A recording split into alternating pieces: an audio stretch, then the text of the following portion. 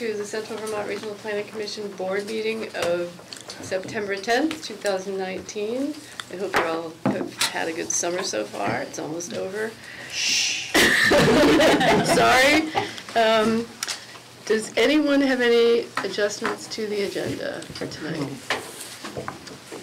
Other than perhaps a rearranging of order. Yeah, our speaker isn't here yet, so we may have to adjust the agenda a little bit just to accommodate him. Um, I, Yeah, there. I forgot to invite you to dinner. Uh, Before we start, I forgot, we- we usually go around the room and introduce ourselves. Um, I'll start, I'm Laura Hill Eubanks, uh, Commissioner from Northfield and Chair of the CVRPC. Bonnie Waninger, staff. Uh, Jon Copans with the Council on Rural Development. Don LaHaye, Waitsfield. Uh, Rich Turner, Williamstown. Ron Krauth, Middlesex. Jerry D'Amico, Roxbury. And Bob Warnick, Berlin. Lee Catania, Orange. Uh, Michael Gray, Woodbury. Kirby Keaton, Montpelier. Julie Potter, East Montpelier. John Brayback, Calais. Jack Paul, East Montpelier, alternate. Peter Kirby, Washington. Robin Shunk, Marshfield. Paula Emery Plainfield, alternate. Amy Hornblast, Cabot. Bill Aaron, Worcester. Claire Rock, South. And Steve Lotspeich from Waterbury, Vice Chair. Thank you. Um, Are there any comments from anyone from the public? Hearing none, I think we'll get started. If you're ready, our speaker tonight is Jon Copans from the Vermont Council on Rural Development. And he's going to talk about climate economy model communities. Folks, um, I think I'm gonna stand, I see some familiar faces here. Uh, So, uh, as I uh, introduce myself, I'm Jon Copan with the Council on Rural Development. And I run a program called the Climate Economy Model Communities Program that a few of you are familiar with. And apologies for like rushing in here right at 6:30. I was at a Burlington meeting that went a few minutes late and things were scheduled pretty tight today. So I guess a first question as we get started is just, how many of you know of the Council on Rural Development and our work? Like, give me a show of hands if you're familiar with, with VCRD. That's, uh, that's helpful. So we are, uh, many of you probably know of our work because of our executive director, Paul Costello, who's been with the organization for about 15 years and is uh, a man about the state, right? Paul, Paul uh, is, has his hand in a lot of conversations all over, all over the state of Vermont. But um, I want to just give you a little bit of a sense of what VCRD is as an organization uh, before I talk about the Model Communities Program, because I think it's helpful to give you a feel for, um, for what we do uh, before I fo- focus in on the program that I, I direct. So as you can see from this big list, uh, VCRD is actually one of 16 rural development councils around the country, state rural development councils. And we um, essentially were created in, uh, as part of uh, the United States Farm Bill back in the mid-'80s.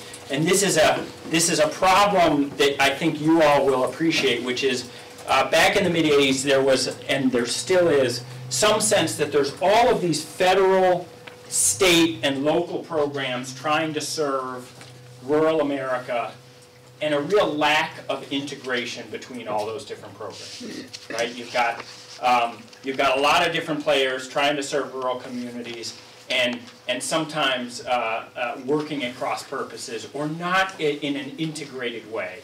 And so what, uh, what, what the rural, what the Council on Rural Development does as our board is it brings a lot of those players together. We have federal uh, appointees, we have members of the congressional delegation staff, we have appointees uh, of the administration, uh, we have local representatives, nonprofit, uh, private uh, representatives as well, all around our table. It's really a lot of our strength as an organization is that diverse board of folks uh, that we have at the Council on Rural Development.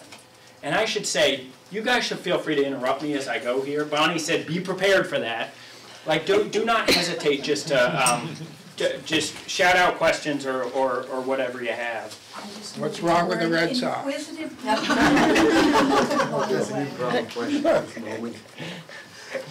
So, um, I, I want to just give you a sense of the work that we do. Uh, those of you who know of VCRD may know uh, that we do something called community visits. Uh, the, interestingly, when we look at our portfolio of work in Washington County in central Vermont, we've actually only done one community visit here uh, in our, we've probably done about 60 around the state, only one in Washington County, which is a little bit interesting, which was in Cabot in, I think, around 2012. Actually, I've got another slide that lists them. So community visits is really the core of our work. Uh, I'll explain that a little bit more in a bit. Uh, as part of our work, we also have the Climate Economy Initiative. That's what I'm going to talk to you a little bit about. That's our sort of, uh, we, we have themed conversations in communities called the Model Communities Program. But we also convene something called the Climate Economy Action Team that develops a, a policy agenda around the climate economy. Uh, we are, we are in the last few years really focusing on leadership development in Vermont. I think, and again, this is something you all will really relate to. The strength of our communities is so much about the strength of our local leaders and those people who roll up their sleeves and try to get things done in, in their local communities. And what we see is some opportunity to really try to cultivate that leadership. And so in fact, we, uh, in August, had our second annual Vermont Leadership Summit. I don't, did anybody here go to that? Oh, excellent. So um, that was down in Randolph, uh, you know, 400 plus people thinking about how are we, how are we doing a better job of, of cultivating community leadership. And then we've also, for the last five or six years, been working on working lands uh, and, and really cultivating that conversation. So that just gives you a little sense of what, uh, what VCRD does as an organization. I mentioned the community visit, and I want to just describe this a little bit. And actually, all these pictures are from Marshfield and Plainfield, uh, just to uh, give them a little shout out, because that's, that's the most recent process that I've been doing. But um, I want to just describe this process because it's really a lot about uh, who we are as a facilitative organization. What, what we do with a community visit, first of all, we're invited into communities. We never go somewhere where we're not invited. And the idea is to bring a community together in, in as robust a way as possible. As many people from a community, and, and, and we sort of, it's a, it's a three-step engagement process where the first step is a series of forums uh, that are really brainstorming forums. Uh, the second step is a prioritization meeting where you use sticker voting to, to, as a community to decide on some priorities. And then the third step is um, to develop action plans around those priorities. You know, we call it Resource Day. And a couple of important things um, I would mention about this. We bring in a, a, visiting team at the first step in the process, the Community Visit Day and the Community Resource Day. And I will tell you that, um, and that resource team, maybe it's USDA Rural Development, maybe it's the Agency of Commerce and Community Development, but always wherever we go, part of that visiting team is the Regional Planning Commission and their staff, right? Because no matter what your community is working on, that partnership with the RPC and the RPC staff is so fundamental. We see it again and again, right?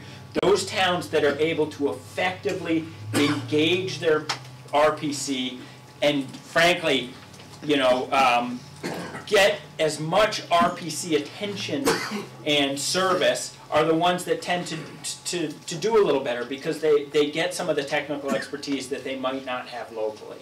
And so that's part of what our, our model is, is to bring in these, this supporting cast of a visiting team into a community to really help provide some technical assistance. But it also does something else important, right? When you're, um, let's say you're uh, Ted Brady, the Deputy Secretary of the Agency of Commerce and Community Development. You spend a lot of time in the State House, you spend a lot of time in your office. What you don't necessarily do is spend a lot of time in the little Vermont towns, listening to Vermonters talk about uh, the issues that are important to them. And when we have one of these community visit conversations, it, it, it brings those folks who get stuck a little bit, and, uh, you know, I'm one of them, in this Montpel- Montpelier bubble. It brings them out into small Vermont towns, and it gives them a chance to sort of put their finger on the pulse of what people are talking about in their communities. And that's, so it's really a two-way conversation, right? And there's real value for those state players in coming into those, those community conversations. And there's value in, for those communities in bringing some of that attention and resources. So, yeah, Could you say more about the blue box? The Like blue- who's the steering committee and oh yeah, that's, I didn't mention that. they're brainstorming the topics Yeah, that'll be discussed? absolutely. Yeah, so what, the way we start the process is that we, um, as staff, make a whole bunch of phone calls into a community. And we say, we're putting together a little meeting of about twenty to twenty-five people. And we're recruiting sort of a good mix of people to come be in that room to really build that process. And there's a little bit of an art to it, which, so what, what you're trying, you sort of form almost like a map of the interconnectedness in a community. You get a feel for what are the constituencies, and what you want is not everybody from one little group of friends. What you want is that mix of, of a lot of different constituencies, a lot of different groups, different age groups, different regions in communities, different socioeconomic areas, you know, parents with kids, like all you, so we try to put together a mix of people, and that group is, their real core job is to make the community visit day as successful as possible. So we do, I'll actually show you a slide later of what our outreach plan looks like, but they really design a whole outreach plan to reach out to the community. And they're kind of the foot soldiers to, to promote that, that kickoff event. And you get their contact and, like, from people? From people, a lot of from- conversations from, with people saying, hey, who should be around this table, you mm-hmm. know? Like, who's the right person? And it's an interesting thing, because a lot of people will say, oh, well, how about the five members of our select board? And we'll say, how about one of those members of the select board? How about one member of the planning commission? And how about, who's a member of the PTA?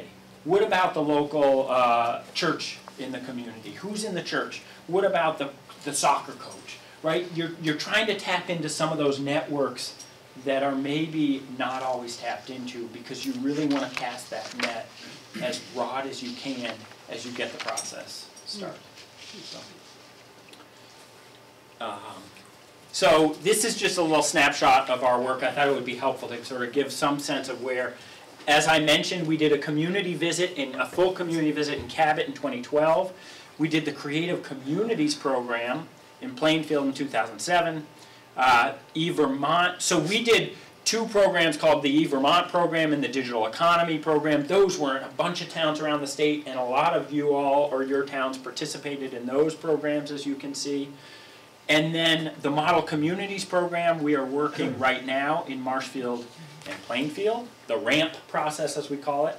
Um, uh, and then, uh, community visit to Barre coming in early twenty twenty, actually. So that, finally, there will be another town that we add to our community visit list for Washington County, which is Barre coming early, early next year. That'd be Barre Town and Barre City, or?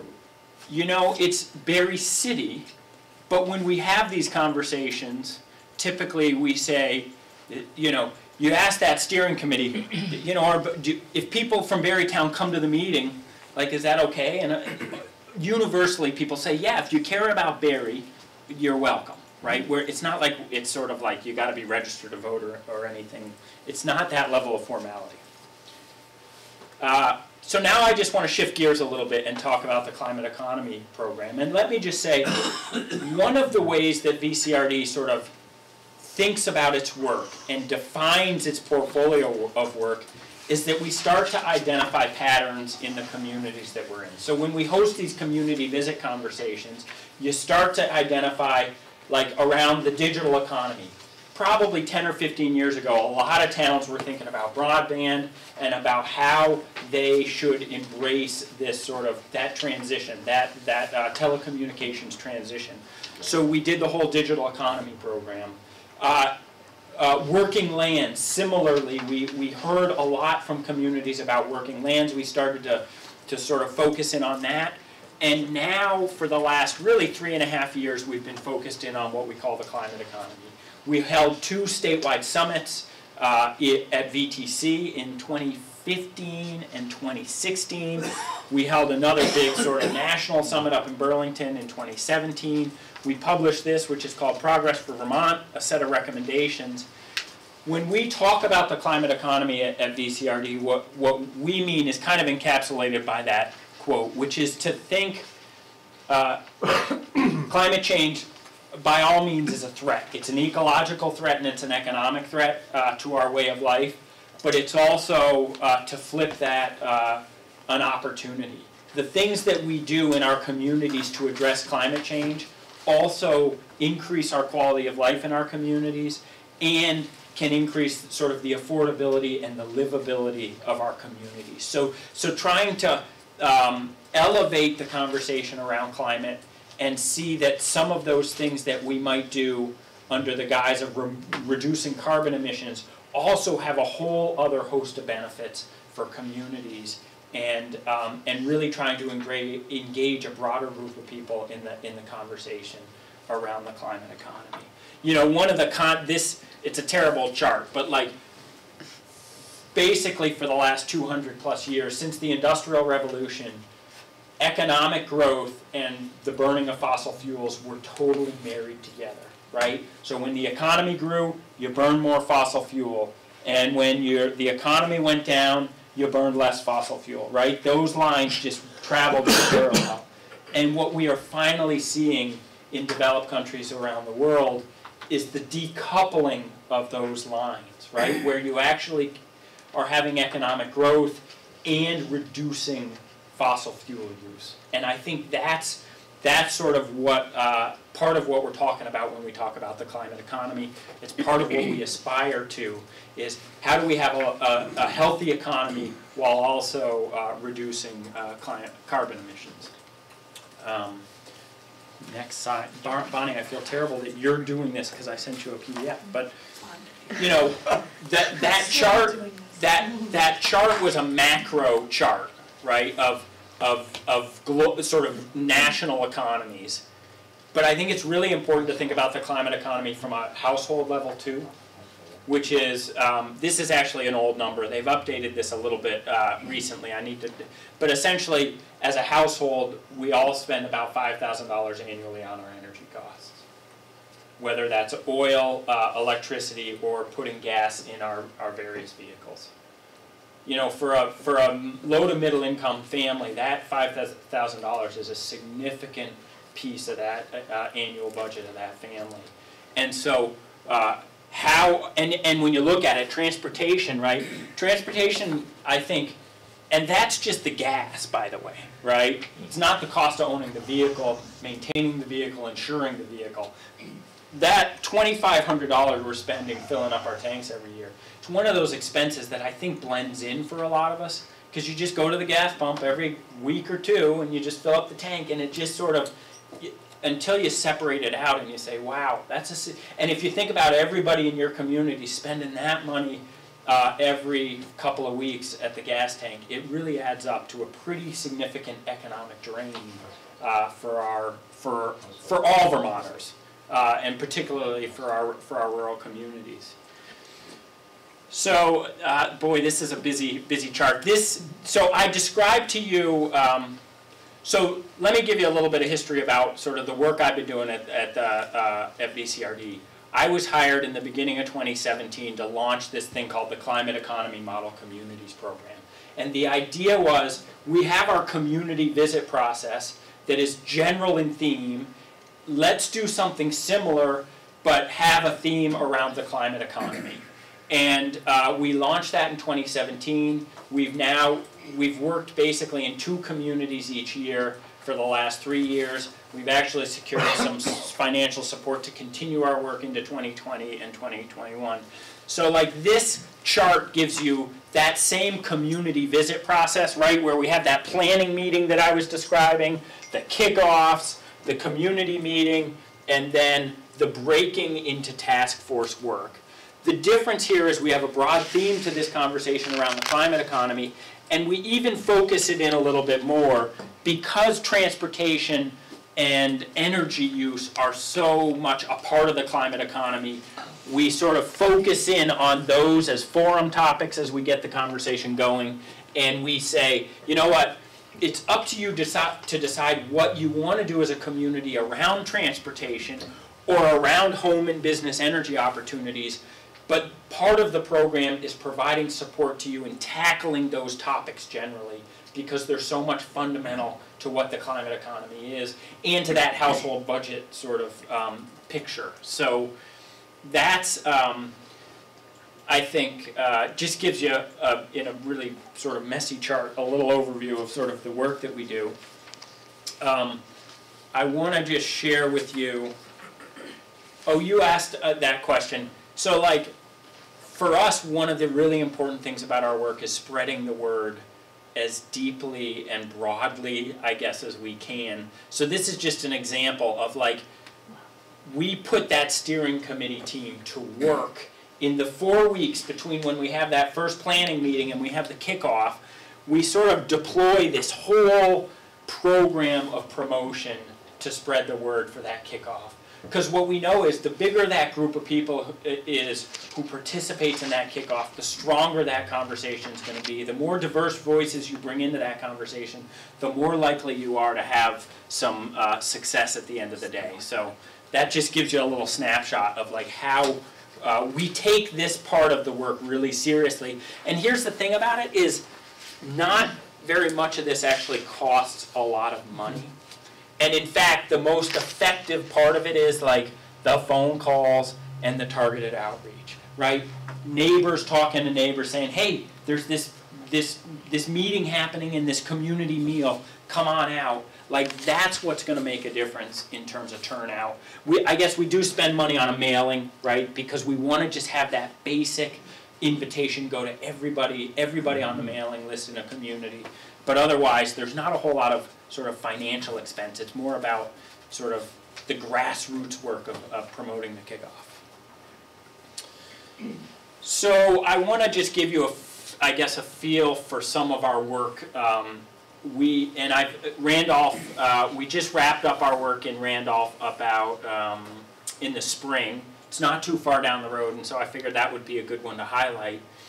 We, um, as you can see, what Randolph prioritized for work, and this was before we sort of said that transportation was sort of fundamental to the program. So you'll see their priorities were around school and municipal energy use, uh, home and business energy use, and then they had two other priorities around um, sort of strengthening downtown Randolph. For those of you who know De- Randolph, about two plus years ago, Belmains. Anybody ever shop at Belmains?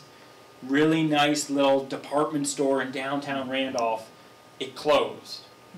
And that was sort of this catalyst moment for the community of like, oh man, we, we lost Belmains. Like that's that's one of those like canary in the coal mine sort of moments for them about the health of their downtown.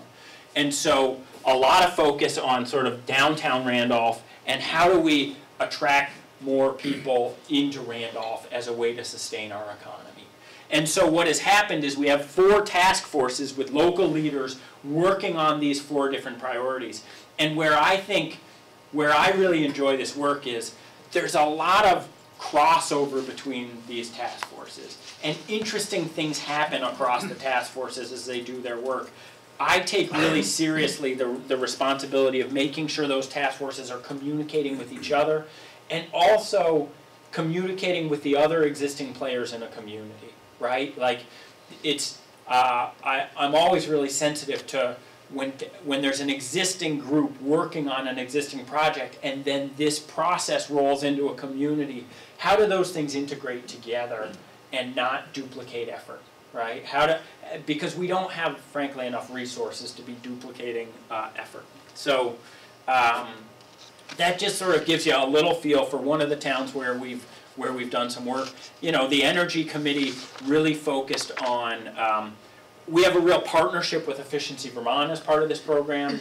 they rolled out free home energy visits, uh, and the and the energy task force really focused on promoting those home energy visits. They really focused on um, rental property owners and how do we get rental property owners to make energy efficiency pr- improvements to their to their buildings, um, and uh, EV charging, right? The group focused on strengthening downtown was, uh, uh, did some work around electric vehicle charging, just to give you a little flavor of the work.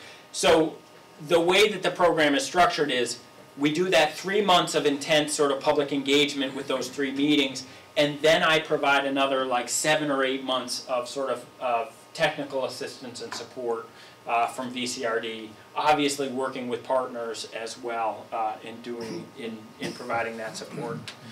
Another example of the work we did in Middlebury, uh, they did something called the Neighborhood Energy Project, where they, they carved off a neighborhood of 100 houses and they said, we're going to talk to every single household in this neighborhood. We're going to try to get them to say yes to a free home energy visit, and uh, and we're going to give them a free smart thermostat as part of this process.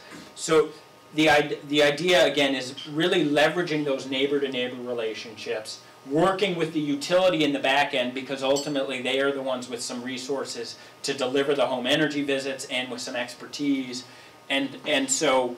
Um, that's just an example of the type of work that has emerged as part of the model uh, model communities program.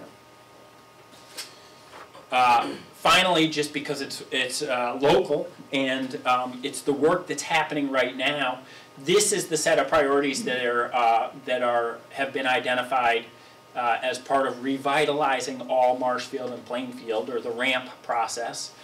Um, they are thinking about how to support and strengthen both village centers uh, in those two communities.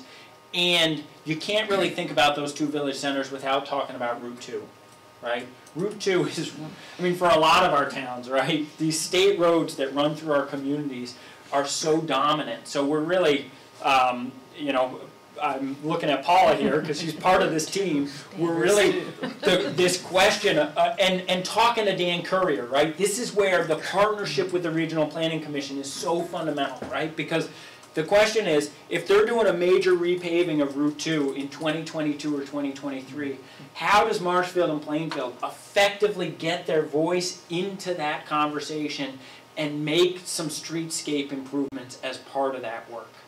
And how, you know, Dan understands sort of the ways of V-Trans in a way that I don't, and that folks locally in Marshfield and Plainfield don't. So like, how do we deploy Dan effectively, and um, how do we, uh, how do these communities become, um, articulate what those, those needs are, and really figure out what are the avenues of communication to be effective there? Um, Yeah. So, and I've been given, I, I live in Calais, but I do spend a lot of time traveling through and visiting uh, Marshfield and Plainfield. Yeah. It's really a neighboring, it's a neighboring community. Um, And, you know, the through traffic, the truck traffic's such a big deal. And it's, it's devastating to those little communities. It's devaluated properties, or properties being abandoned, it's impossible to live on. Yep. Randolph, I'm not Randolph, Danville had similar issues. Totally. And AOT back when, they wanted to widen and speed traffic through even all the, all the more. And the community rose up and they pushed back and AOT engineers, Yeah. you know, said, no, we're doing it our way to highway, literally, and, um, our way and the highway. And they pushed back and the long, uh, long story made short is that we have what we, we have now in In Danville. Danville. It's Kind of a poster child, right? It's a poster child. They did, Yeah. uh, traffic calming, uh, You know you're in implementation a and community when you drive through It's Danville. beautiful. Yeah, yeah. It's beautiful, and I, I have this vision, um, not as one of your community leaders, uh, but as a, a regular visitor, it, it seems something similar happened to the Marshfield Plainfield community. I don't know if that's, Well, have you invited the Danville I mean, folks it's, in? well, it's what, uh, it, and I think a little bit of an autopsy to understand how did Danville unleash Right, that? that's- right. There was obviously a heavy amount of dollars involved in that project. Mm-hmm. It's both dollars and like persuasion to get those, you know, I think, well, yeah. My guess is, Danville has a representative in the legislature that lives in Danville, That's and right. she has a lot of relatives in Danville, so they're very persuasive. There, there's some position. But the yes, community uh, did rise up. I It mean, there was like protests. Yeah, but like, And- and honestly, I feel like that's where there's such overlap between the work that Council on Rural Development does and the work that you all do, uh, and the RPC does, is like helping communities realize that kind of a vision and what do they need ultimately to get it done. Like ha, and, and, and so that's, um, yeah, a good example. Uh, they, in Plainfield, Marshfield, are also working to build a farm and food network uh, there and strengthen that farm and food network. And they've plugged in uh, with the folks in Cabot, because there's already an existing sort of agricultural network in Cabot that they're uh, communicating with. Uh, On the transportation front, I would say they're really in sort of information gathering mode to get started. You know, there's, um, there's the Route Two commuter, uh, that, uh, has, um, uh, I think has potential to have greater ridership. And there's some improvements to that coming, right, in relation to a connection to Barre, uh, for some folks coming, uh, out of, uh, both of those towns. And so what that task force has decided at this point is they don't want to sort of reinvent the wheel, given the set of offerings from Go Vermont and some of the existing resources. They really want to understand better what those resources are and then figure out what are some key opportunities for them uh, to, uh, to make a difference. Transportation, to me, is like the most enticing topic, but also the biggest conundrum. Like, it's really hard to know um, how we reduce those single occupancy vehicle trips. Like it's a, it's a, a in our small little communities where we live uh, all over the place. Like it's, it's a real dilemma. So, but it's also, that's what makes it fun. Uh, and then the group that's working on energy uh, more generally is really focused at this point on two things. They're focused on Twinfield School. Uh, Twinfield's made great progress. They heat with biomass. They've done some insulation, but there's a little bit further to go for Twinfield, and this group really wants to work with the school district to get those final improvements to the school building. And then the other thing they're doing is to um, deploy, interestingly, when you look at census data for Marshfield and Plainfield, uh, almost uh, half of both communities heat primarily with wood. To, and that, that, that sort of fits with, I think, how we probably perceive those, those communities. Probably true of a bunch of other Washington County towns as well. So, uh, a lot of those folks are probably using pretty inefficient older wood stoves. There's a great wood stove change-out program right now that, that both increases air quality, but also really reduces the amount of wood you need to buy every year because you, you switch over to a, a, so, so this group's gonna deploy a campaign around modern wood heating, both targeted at those people who are already heating with wood to see if they have opportunities to do that more efficiently for those who are motivated to do so, but also for those people heating with oil or propane who want to um, expand their energy choices or change them um, to maybe transition over. So that just gives you a feel um, for the other work that we're doing um, here in Washington County.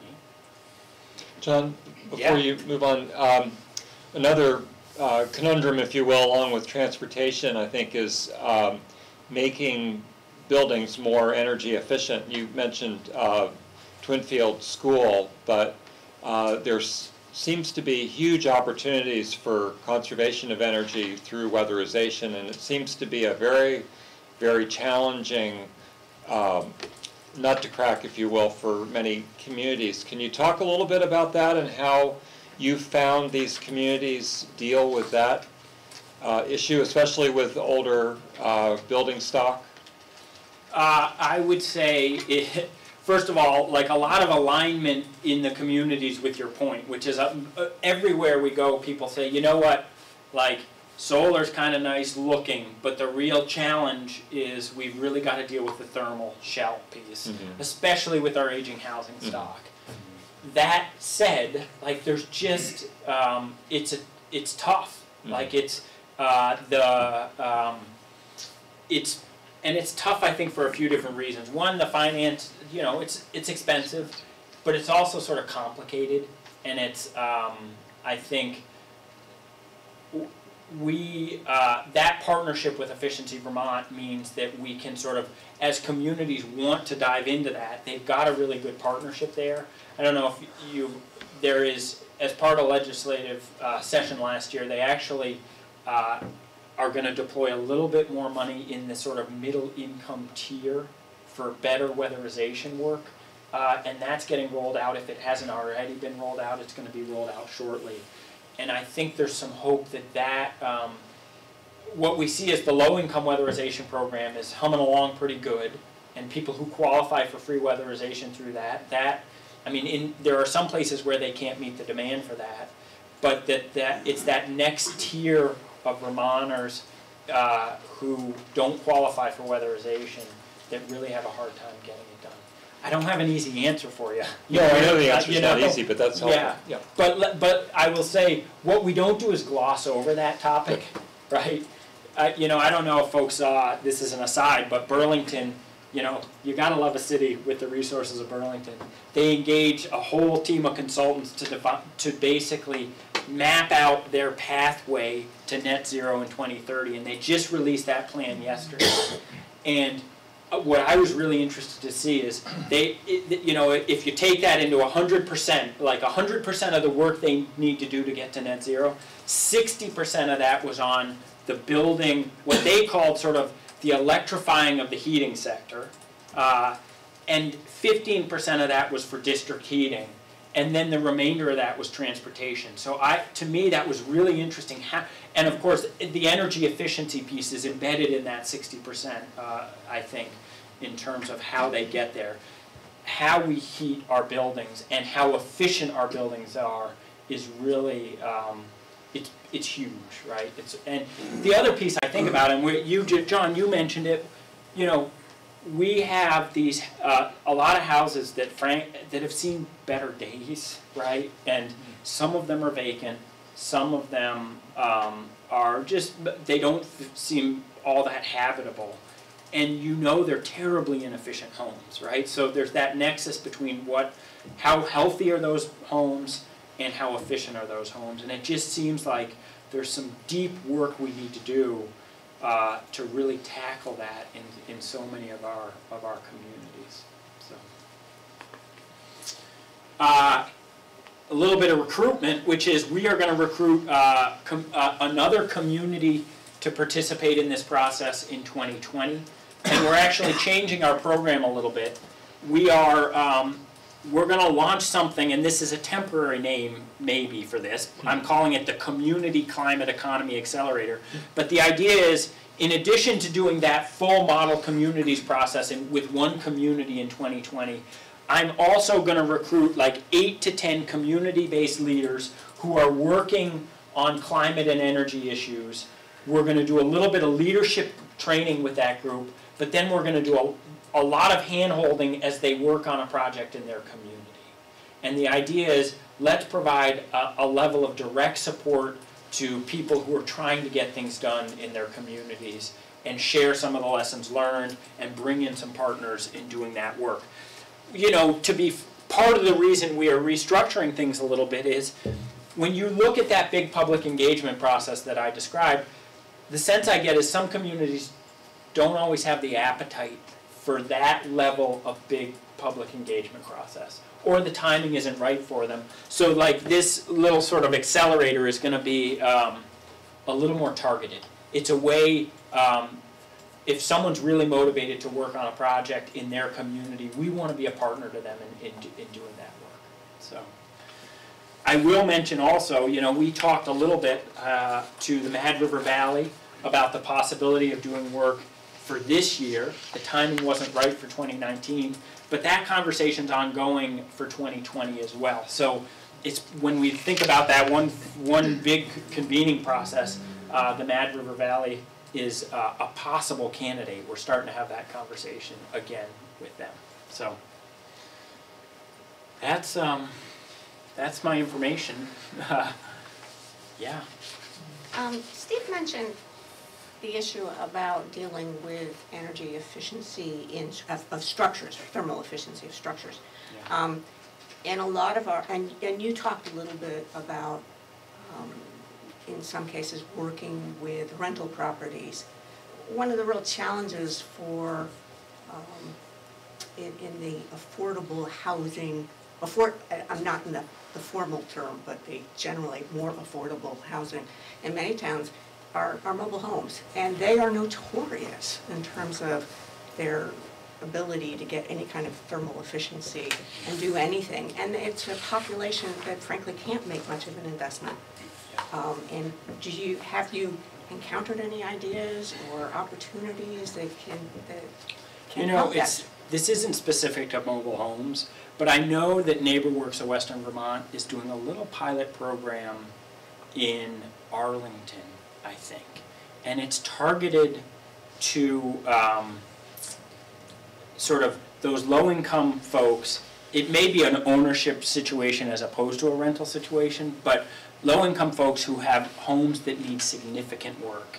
And, and they're piloting, I don't have details, as you can tell, but they're piloting something where they come up with a way to finance some significant rehab of those homes. And uh, I'm pretty curious about that, because I feel like that fills uh, a niche, as we were talking about, so much of our housing stock is in need of, of attention. Uh, and it's, uh, it's a real challenge. For mobile homes, um, the, I think we all, have folks, how many of you have ever toured, you know, there's a company called Vermod who makes a hyper-efficient mobile home in White River. Have, have folks seen those? Um, they're expensive, right? It's not, the reality is to, to actually, it's always required a hefty sort of set of incentives to get those um, on the ground, I guess. Uh, so I think we all are, are hungry for a day where somehow those are a little more affordable. You know, I remember, I used to work for Congressman Welch, and I, uh, Capstone held a little uh, sort of open house for one of their weatherization projects. And it was a mobile home, actually, I think on the Barre Montpelier Road. And just seeing that, um, the challenge of really making a mobile home energy efficient. It, it, it, it, and, and when, when Paul described probably the five thousand dollars of labor and uh, sort of materials that was going into this nineteen sixties mobile home, it's, uh, it's important, right? And there's a reason they're doing that, and it's the right thing to do, but also you wonder about sort of the overall sort of economic efficiency of that uh, kind of investment. As opposed to replacing it. Replacing it, Wholesale, yeah, exactly. yeah. Like, what is that model? But the rea, you have to replace it. I mean, you know, our first community where we did work was Pownal, Vermont. And Pownal, if you've never been there, has three uh, mobile home parks that were, that were there originally because they uh, had a horse track that then became a dog track, and those mobile homes were sort of for employee housing. Those, um, there was deep fear in amongst those mobile home communities about this model communities process. And this fear was that, that we were somehow gonna close those mobile homes, right? And that is a real fear for people. It is the only roof over their head, the only affordable roof over their, head. and so even if there's some alternative that's maybe an apartment in Bennington, like that, uh, for people who that's their, that's their home, uh, the, the, the amount of, um, fear in that conversation was really real, you know, it's, yeah, serious. I just wondered if you'd had any success stories to share. In my community, um, there is a, we have a mobile home park, and it's one, probably the largest source of affordable housing in town. Yep. Um, Most of the residents own their units. Um, And comments that we had is, it may not be much, but it's mine, and I own it.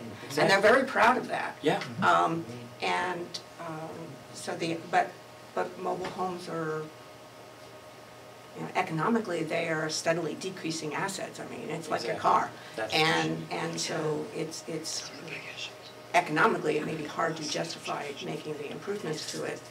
But nevertheless, you can't write off a whole sector of, of your community that way exactly. based on cost effectiveness. And so it, it's a real challenge, and that's why I'm raising it, because you have the opportunity to perhaps see some opportunities that may have sort of we've missed. You know, the other thing that I've seen is that um, there's a level of sort of grassroots volunteer work in terms of just uh, sort of weatherization. There's a new program actually that started in Maine that new communities in Vermont are starting to do called the Window Dressers Program. And essentially what they pioneered is a way to build these window inserts that are reusable, right? Instead of putting up the plastic every year and, and tearing it down, they have a really precise measuring system. And you go, they have a centralized location with, with materials that they've acquired to build these window inserts. And, and it really, there's some thermal improvement that comes from that uh, in terms of saving people on, on their energy costs. And there's also a sort of community service element to that too, which is people can volunteer to make those windows, uh, those window inserts. People can contribute to those window inserts for other people in their community. And I think a little bit of that catalyzing of, uh, in, um, in William, at Williams College, they have an annual day of service where people go into the community and actually do sort of that seasonal weatherization work for anyone who wants it. And I, I, I think that does not get at the big picture thing by any scope, but I also think it's, it's that kind of work at the, at the grassroots level is um, important as well. Any talk about excessive air conditioning use? Or giant SUVs or brand-new big trucks that everybody drives around? You know, it seems like if we wanted to kind of change the perception that we're going after people who can least afford it, then we should at least sometimes talk about the people who could most afford to give up maybe some luxuries or things like that. I have to say, like, this is what I personally grapple with in this conversation.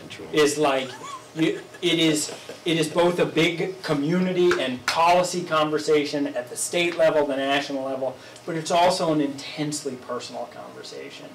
And it's actually part of what draws me into this work is that it's similar, uh, I worked at the Department of Environmental Conservation a few years back.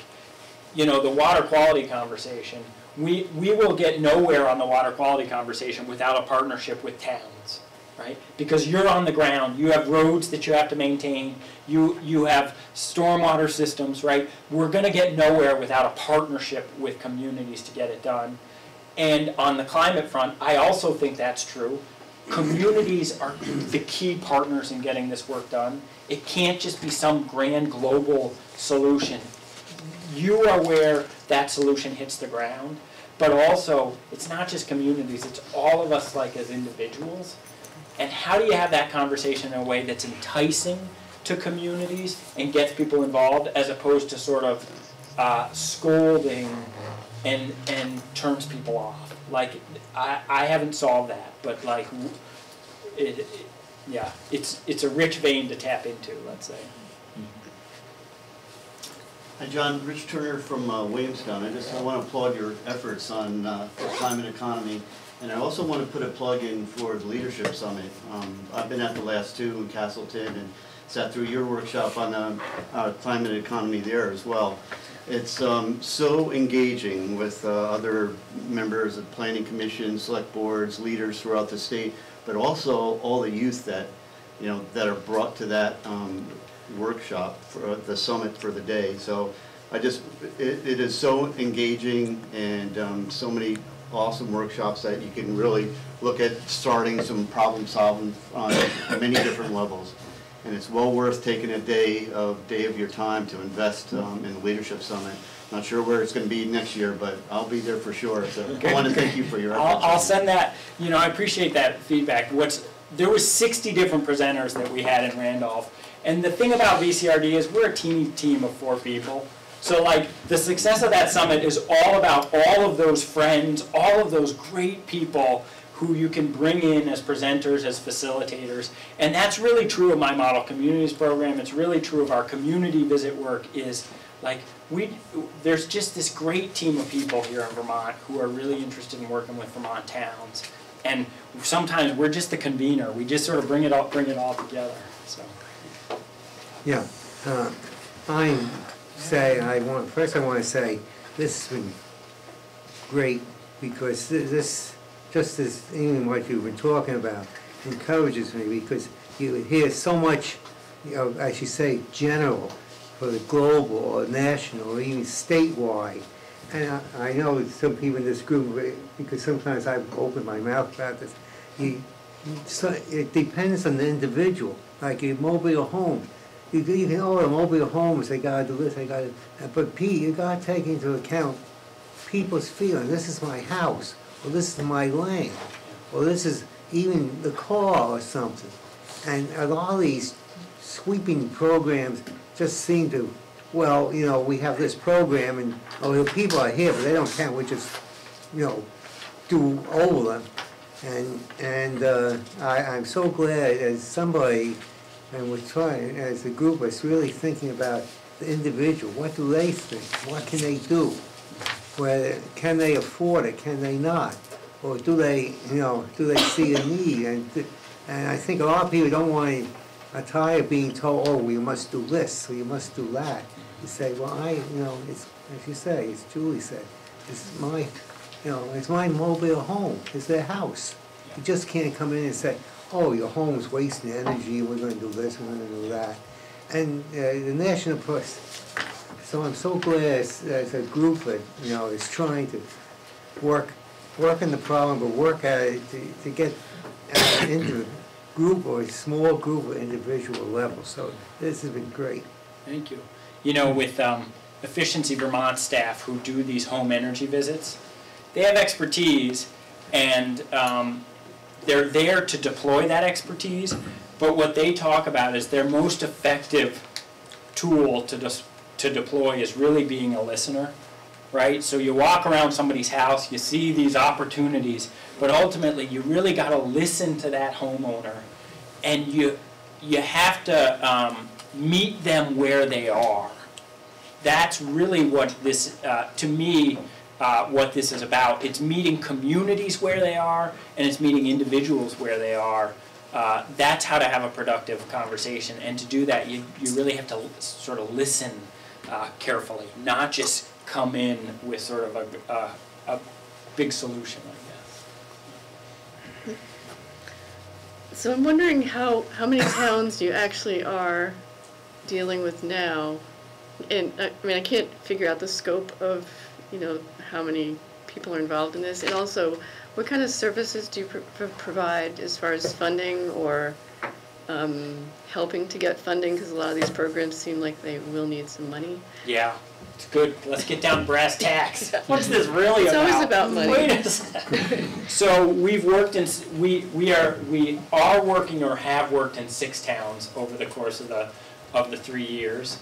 And, um, you know, what VCRD's line is around funding, I, what I don't bring with this program is a checkbook, right? I bring a process, I bring some staff support, I bring some partners, but I don't bring another chunk of money. Uh, what, uh, I think what you all know, so I almost don't need to say it, is when, when a community aligns around, around a priority and sort of shows some leadership, uh, a lot of times, uh, funding will follow that, that kind of unity.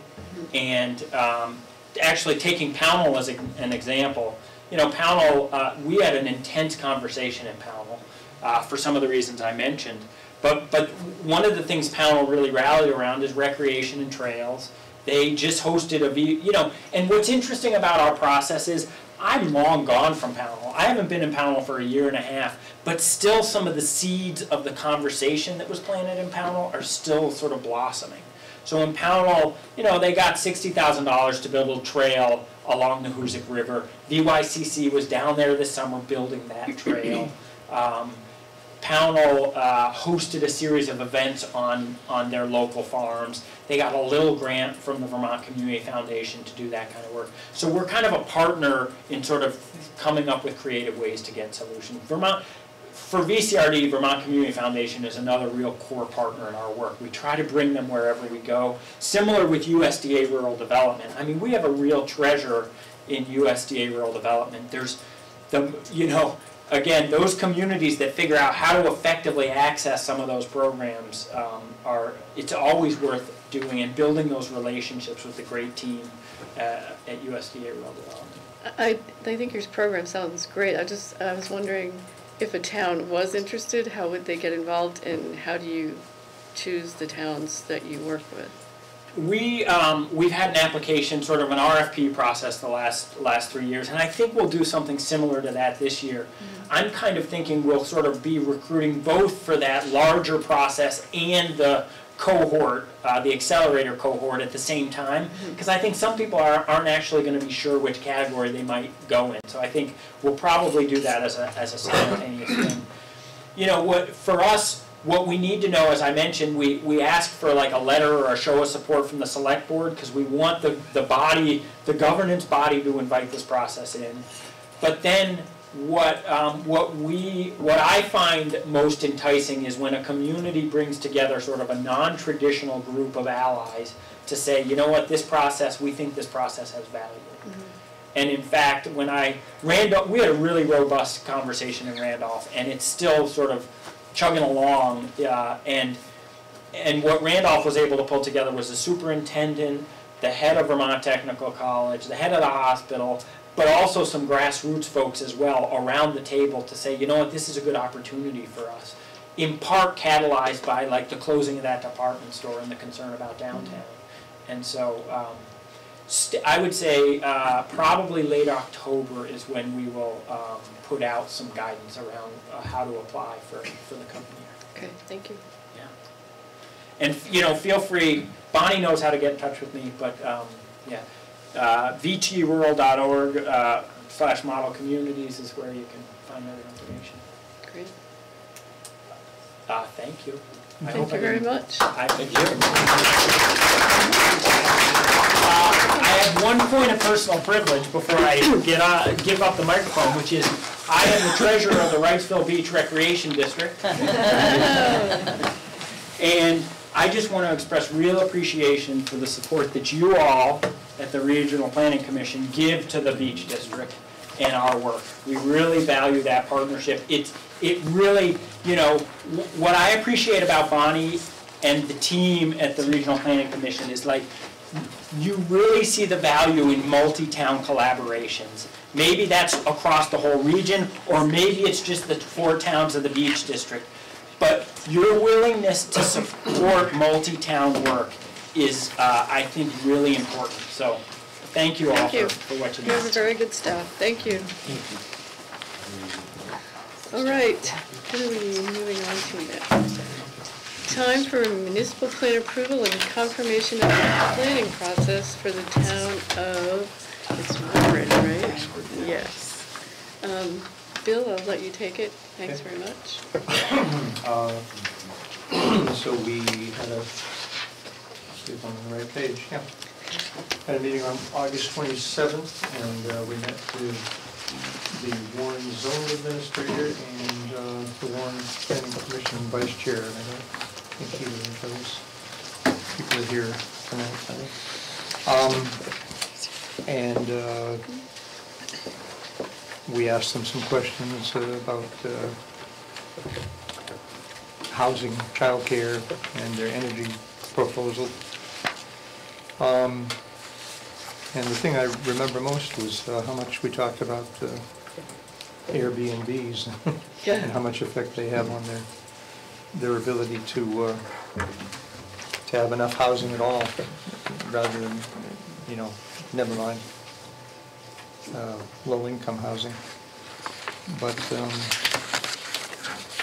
any comments about I think Bill kind of captured the conversation, and I just wanted to um, say that our uh, assistant planner Zach Meyer did a lot of the staff work in in the review and the coordination um, of the meeting, and that um, it- what was interesting to me um, during that meeting was the uh, Warren's recognition of the amount of seasonal housing that they have, and um, that they recognize that a substantial amount of their condominium housing stock is affordable for wealthy people to own, but to lay vacant for the majority of the year.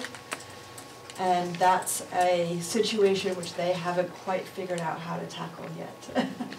But they're in a unique position where there is a tremendous amount of what would be considered vacant housing in the town, but they still have um, the need for how, year-round housing in the town. So what part of the year is it vacant? Uh, most of the year, that the, the, the folks that can own these condos can just come for a weekend here and there, and they don't find the need to. They're so cheap, they don't even bother to rent them out. Yeah. I don't know. Okay. Interesting. What Warren. Warren, okay. No, sure. Does anyone, does anyone have any questions or? Sure, Steve. Um, Did the topic of um, housing for people who work at the uh, ski area and in the resort community as a whole come up? And uh, I know that's uh, a big issue for most resort communities. How did I that think it did, conversation? I think it did, and I think, that, again, there was the problem that, um, uh, with, with things like Airbnb, a lot of the, a lot of the uh, housing that could be available to those people was, is being used for that kind of thing, so they're pressed for that as well. And they did, they did note that they were looking at some zoning changes, um, just making a, a minor modification to their, uh, definition of what is considered a boarding house to modify that language with the hopes that that would allow, um, Sugarbush to develop some additional housing for some of their seasonal workforce. Uh, but I, I believe that was, um, kind of one small step in, in the, the greater scheme of kind of where they hope to be in the future. Yeah, I was just gonna say Sugarbush has been doing a lot of investing, um, because they've had to. Mhm. And they also have a program called Tenants for Turns that engage the wider community in housing someone who works at the ski area, and in, in exchange you get a ski pass. Mm. Or a gym pass or something. Nice. Um, as a former owner of, uh, three condos in, uh, Warren, uh, the, the units themselves are sixties era units. Hmm. And they're all, uh, heated with electric radiant heat. Um, So that's, that's the kind of thing that people will generally try and um, build in propane heaters and whatnot to, to uh, take it over. And they've all got a wood fireplace that sucks all the air out of the building. So, uh, you know, usually putting in a, a, um, a heating unit, uh, which we did in two of our units, uh, makes it uh, more usable for year-round. Um, So, it- and I think that's, that's what a lot of these condo units are up against. Weatherization. Mm-hmm. Necessary. Exactly. I mean, Back to just- Just weatherization. What it's talking about here. Right. Anyone else? Go ahead. Yeah, it- It's probably not germane to the town plan, but when's the last time somebody from Warren came to one of these meetings? Uh, Is that Camilla Bain? She was here, um, earlier in the summer, I remember seeing her. I think And actually- Duckworth, the new person came uh, in July. Oh, yeah. Generally, they try and have someone from their planning commission, but for both Fayston and Warren, their planning commission meets the same night we do. Mm-hmm. So when you, when they see something that's of particular instance, or when we call them up and say, we really need your vote, they make sure they're here, but they're mm-hmm. missing their local planning commission meeting. So it's a challenge for them. They want to make the planning link. But The timing doesn't work. Um, So, uh, the uh, Town Plan Review Committee uh, is recommending to the entire commission that, uh,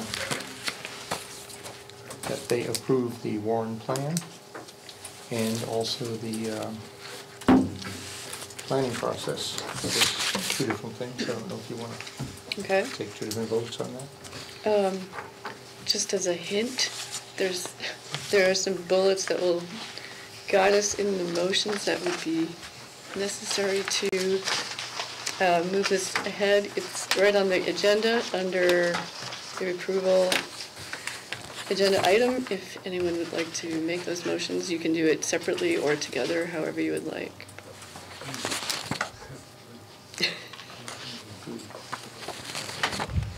Peter? Yes, I move that we approve the municipal plan per 24 VSA, section 4350 subsection B, and confirm the municipality's planning process versus uh, per 24 VSA, section 4350 subsection A, and approve the signature of the R- CVRPC uh, resolution by the chair. Wonderfully said, thank you. I can read. I'll second. Yeah. Um, it's Peter Moose and, we'll say Lee seconded. Um, Any more discussion? All those in favor say aye. Aye. All those opposed? All those abstaining? The motion passes and Warren's town plan is approved. Thank you very much and congratulations to Warren.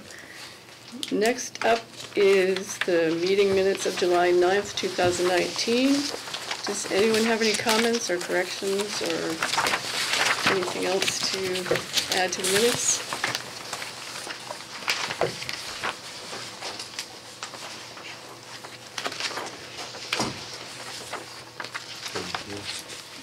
Minutes are perfect, I assume.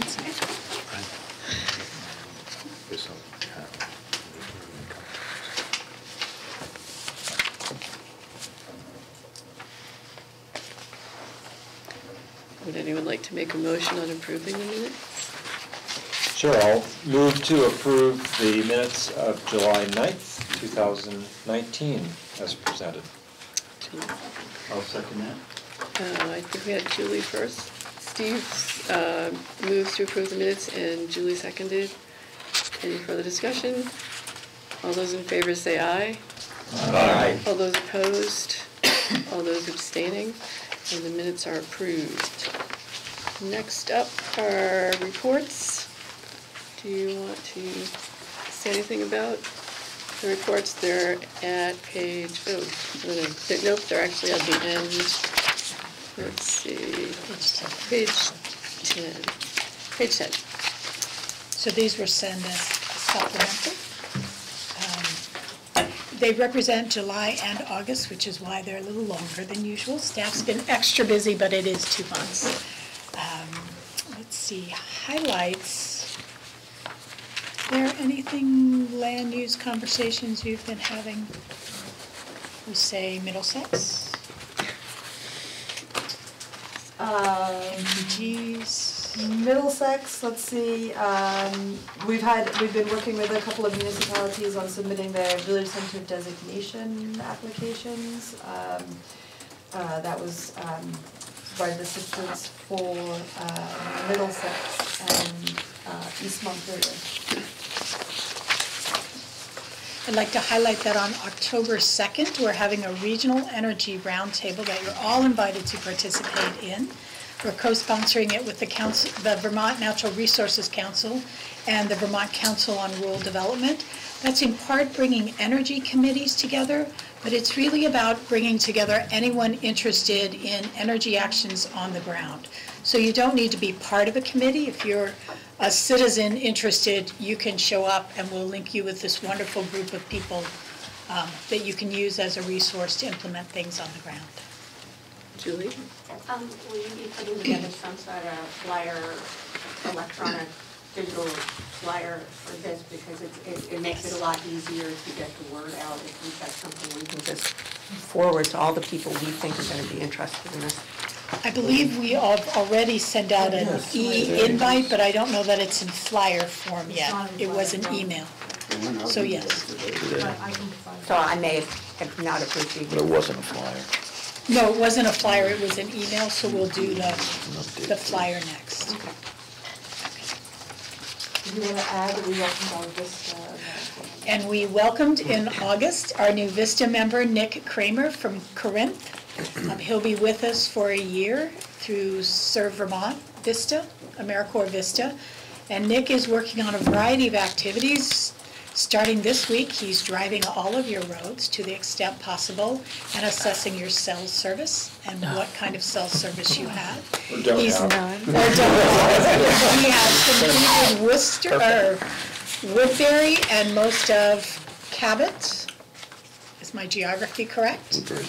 Um, So he is tackling town by town, working through, you won't have your data for a while.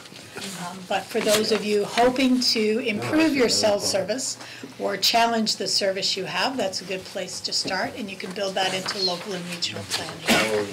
He's also working on some activities related to housing and childcare to help municipalities identify what more could we be doing? What's kind of a menu of things towns are doing out there or could be doing?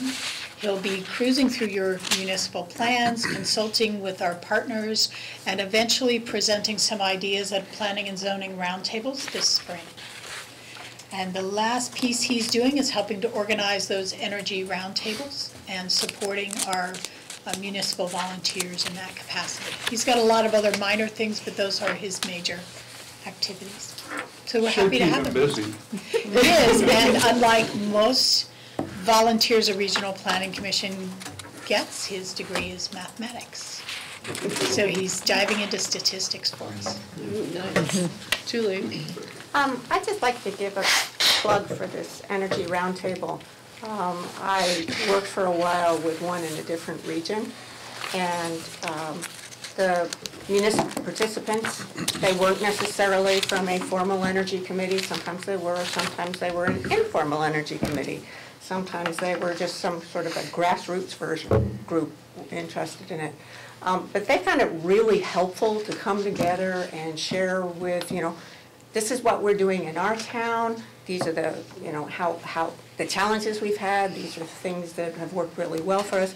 And that sharing of ideas really inspired a lot of the participants, and uh, certainly we had amazing attendance every single meeting, and- which I think is indicative of that they found that there was a va- real value in it.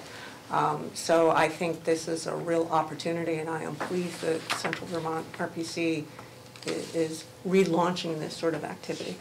So how many towns did you say had energy committees? I think we have eight or nine in our region that have energy committees, have formal, currently operating energy committees. There are other communities, Jon mentioned a conversation in the Mad River Valley where I don't believe any of the communities have an energy, a formal energy committee before, anymore, but they have individuals interested in taking action. So this is one way to take that individual, if their community can't form a full energy committee, and just network them with other people so they have the support they need. If they want to hold a Drive Electric event, who else has done this, so you're not reinventing? These are other folks who have flyers, can tell you what it takes to make it happen. Our first forum's focusing on transportation, that's our largest energy use section segment, and folks like the Northfield Energy Committee are coming to talk about their week-long Let's Ride Transit initiative. It's a gentleman from Worcester who started a, it's called a hitching post. If you mm-hmm. didn't see that in the Times Argus, it's a carpool. And I, I say it's patterned after something I saw in Washington DC. You're there waiting as an individual, right outside the coffee shop, and the person drives by and can pick you up. And essentially, what you've done is pre-purchase them a coffee at the coffee shop. And you give them a token that they can cash in at the coffee shop for their coffee. So he expanded it a little bit, and I think in their first few weeks, they had six or seven links for rides. So it's, it's an informal way to do it that involves some economic benefit in their community. So ideas like that that are out there are some of the things we'll be talking about. Great, thank you. Does anyone else have any questions or comments about the staff reports? Go ahead. Uh, I would certainly hope that this inventory of the cell service that Nick's working on, they can have something done for Roxbury before the town meeting. We have no cell service in town. None? Wow. Well, I guess very limited. And it's every year, we've had repeater put in, right in, in the village, and that, the, the provider went out, he hmm. ma- went bankrupt, and that didn't work. And every, for the last ten years, it comes up at every, every town meeting. What's the status of the cells? Okay. He is doesn't doing this, exist. the It's cell like testing in Marshfield. two parts, because we're trying to do it with leaf on, which is when your worst cell service is, as opposed to leaf off when all those signs can get through. So it's a better indicator of actual service. So I will let him know, we somewhat have In December, we have prioritized none. communities that are talking about it, right? So he'll be driving now through leaf off and then in spring, which is why. So how do, um, in Woodbury, of course, how do we find out what Nick found out? Um, After Nick am. has I'm on top of the mountain driven and I have all that he can this year, the Public Service Department, we're using their equipment, will download the data, and Ashley and Pam will be working on some maps, and then you will know. I can't guarantee you a timeline on that, um, Sometime, but the idea is that it turns around fairly quickly. I would hope by December, the fall ones would have their information. We're convincing the Public Service Department, initially, they wanted all RPCs to do the full state survey before they downloaded the data. We're working to convince them, and I think Nick did a pretty good job that said, but if I mess up and corrupt it, everybody's wasting their time. So I believe they down, Lamoille had the equipment before us, I believe they downloaded Lamoille, and they'll download us after the fact, so. Anyone else? Go ahead, Lee. Uh, Just uh, the note on project review committee, and uh, I'd just like to emphasize what we had done on that.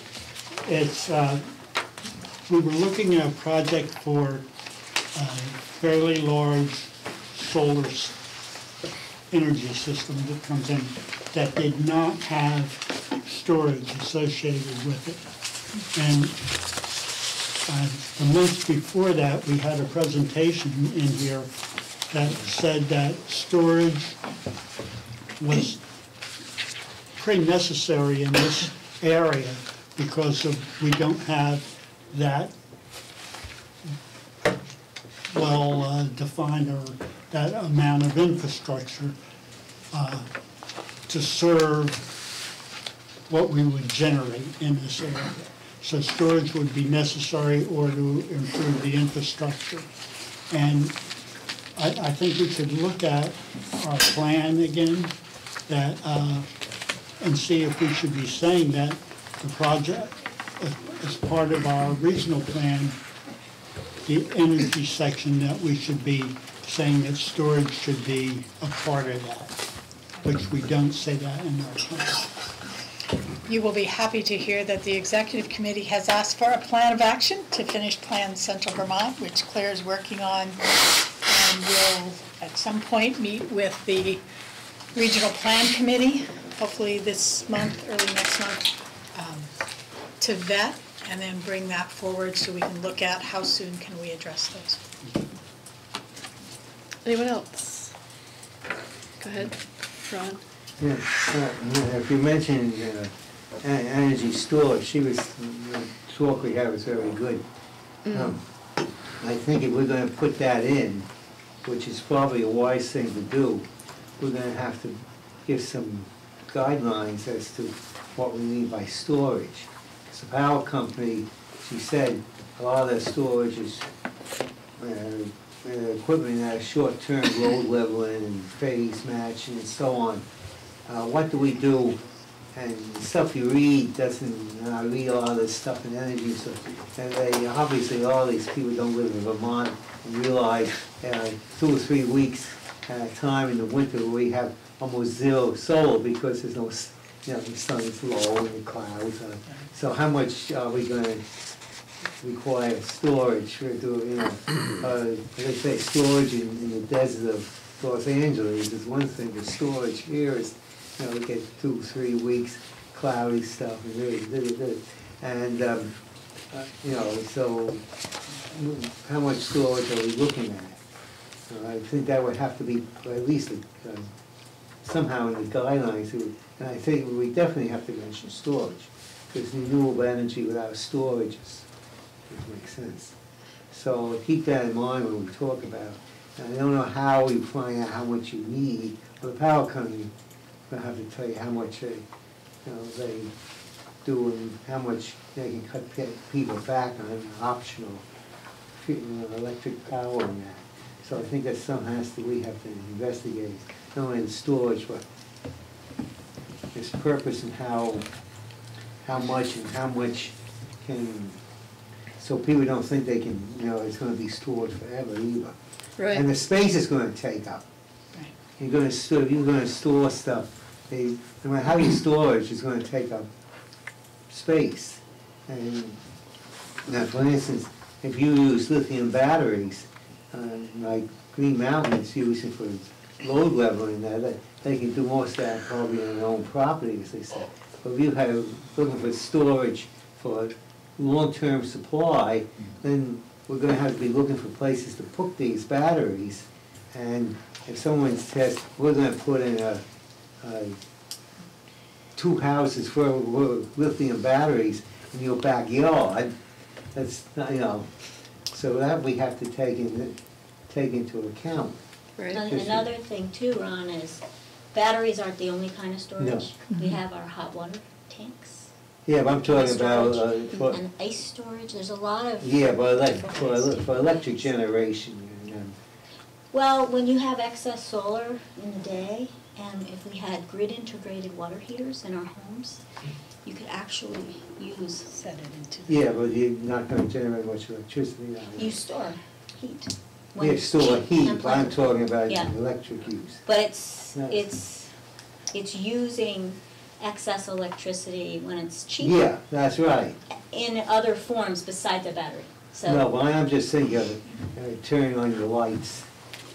Something I see, that. yeah. I know, you're right. Storage is, is, yeah, it's a big, I- it's a I'm big thinking concept. From, from Yeah. just an electrical, you know, Gotcha. running your water pump or running your lights or something, rather than therm, using the, uh, the heat hot water, which you, you know, for your thermal storage. But again, yes, yeah, since you bring that up, we may have to make a distinction while we're looking at it. Great, thank you. I think we have a lot of work to do on energy still, then, it sounds like. Um, I do want to say thank you to the three commissioners, Laura, Dara, and Ron, who came to the Transportation Climate Initiative um, workshop, discussion. Discussion. Discussion last was- Friday. was- yeah. We got a lot of positive feedback That was- from that was good. participants, legislators, the state folks, Yeah, that was good. about the value of that discussion in figuring out not just dreaming pipe dreams Yeah, about true. what we could do, but what the realities were in trying to implement some of those solutions and things to take into account. That's good. I think, one- I think one of the most interesting suggestions I heard, and one that I hadn't really thought of, was to use school buses to also transport adults, because the public transit doesn't really go in many places, they just go on, on, you know, the main routes, but the school buses go everywhere. So you could, if you could find a way to put adults on those buses, you might be able to get more. I don't know if the school districts would go along with it, but. The reality with that one is the federal laws related to school buses prohibit it. When the kids are on the buses, when the kids are not on the buses, you could. So that doesn't mean you can't use them, but you have to think creatively about it. And there are folks around the state looking at that. Good, I hope they put seatbelts in too. They're very uncomfortable though. Field trips, they're not designed for. it. Karen Karen loves to balance things. All right, before we go, um, I just wanted to thank some people. Um, Thanks to Bill and your project review committee for working. We had a lot of town plans this summer, so you guys did a lot of work. Thank you very much. Um, Paula Emery is back. We wanted to welcome you back. Thank you for coming. Um, And we wanted to say goodbye to Kirby Keaton. I think this is your last meeting with us. And thank you very much for your service, and we'll miss you on the regional plan committee. Um, They don't know. Okay, so I guess that- that, that warrants some explanation. Um, so we recently had the chair of the Montpelier Planning Commission step down, and um, I'm filling in. Um, so to focus on those duties, another member of the Montpelier Planning Commission will come as a representative here. You're sticking around now. Uh, I'll still be around, Okay, I'll still be on good. the Montpelier Planning Commission. Um, so Marcella Dent will be the new representative. I, I anticipate, actually, this is, it hasn't been confirmed by the city council yet, but, be nominated as a, as a planning commission, uh, and one of our members, Marcella Dent, so we anticipate that she'll be here. And she's really great. She's younger and more energetic than me, and, and. I thought you were young. I'm younger yet, huh? The, the average age is, or, I was gonna go down that a little bit more. That's good, Uh, that's good. Yeah. Thank you very This much. gray hair stuff. Um, Does anybody else, Don? Oh, you were gonna make, I'm sorry. Go for it. It's time. Motion to adjourn? Do we have a second? Second? Second. Bob, seconds. Um, I abstain. You can stay. Yeah, but. All right, um, all those in favor say aye. Aye. Opposed, abstaining, goodbye, thank you.